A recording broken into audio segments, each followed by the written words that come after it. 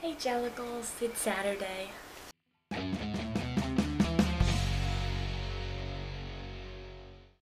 And I am left with Grumpy the Dwarf. So I thought I'd talk about pet peeves and some of the things that actually make me angry.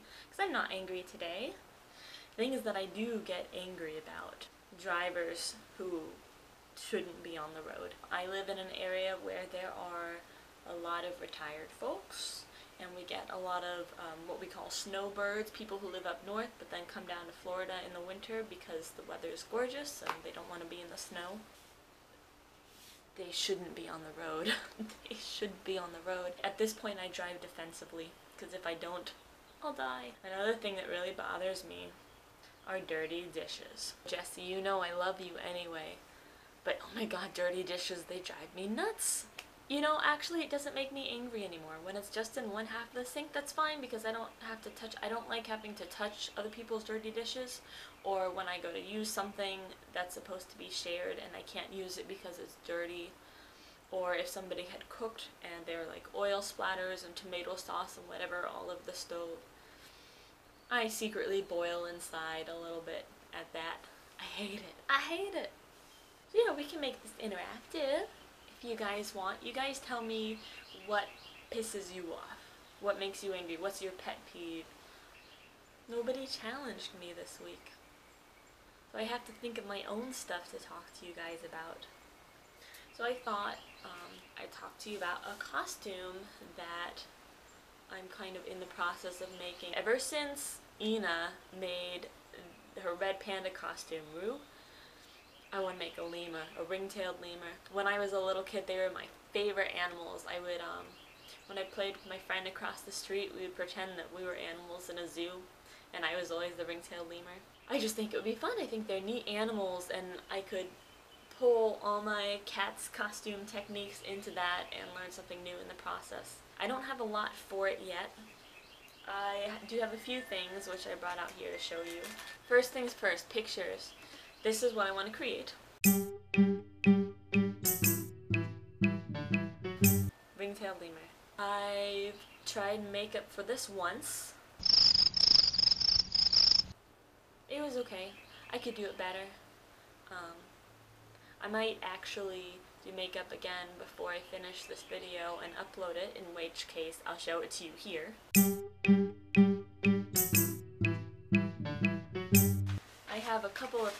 Plans.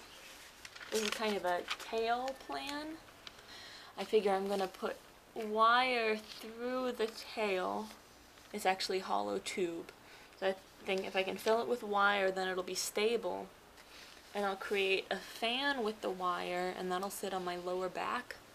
And that'll be sewn into a whole really thick waistband that'll wrap all the way around my waist I have this idea, I want to wear jazz shoes with it still. It's going to be a cat style animal costume. So I'll have the unitard and it'll be painted and I'll be wearing regular jazz shoes with it and the feet will actually be a sock kind of thing that slips on over the shoe. Construct it like you would fursuit feet but really close fitting. I want it to be as realistic as possible. But yeah, so I figure I'll have that foot sock and then I'm, I might do like garter stockings with the stirrup to go under the foot. I think that could be neat. The tail is going to be constructed on these. I don't know if you can see them. They're um, this hollow plastic tube. It's actually from um, one of my fish filters. So these are the intake and outtake tubes and this was the extra length that I didn't need and I had cut it off at the time.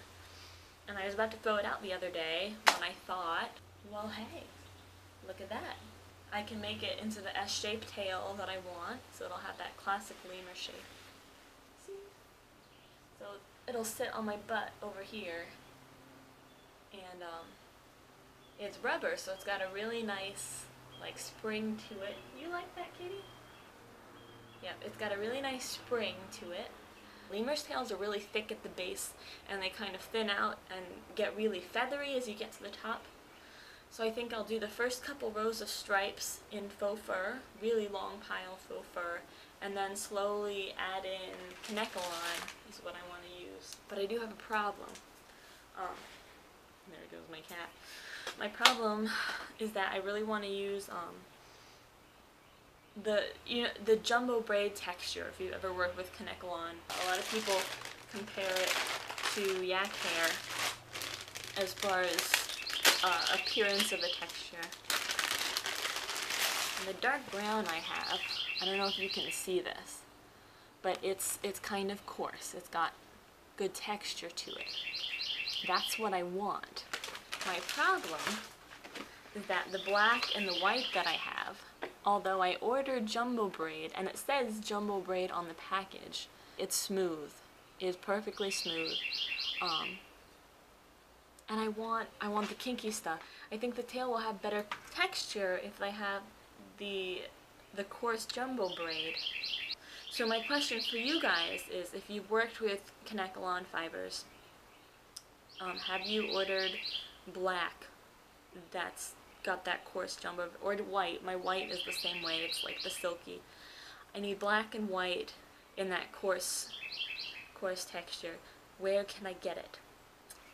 Okay, I have my dice, I'm gonna roll it on the floor. Number five, that's Bomb. Bomb, you're an artist. I want you to show us your three favorite pieces.